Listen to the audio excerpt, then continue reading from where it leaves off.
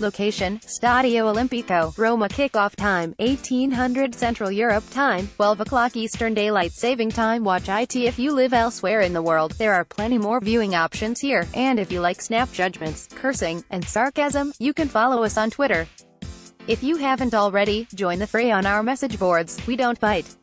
We're also available at the Zuckerberg Discount Data Warehouse. With the second leg of the Champions League semi-final looming next week, you'd be forgiven for overlooking Chievo, but Flying Donkeys have a way of stealing points from Roma, and with a few minor injuries and plenty of distractions, Roma aren't entering this match in an optimal state.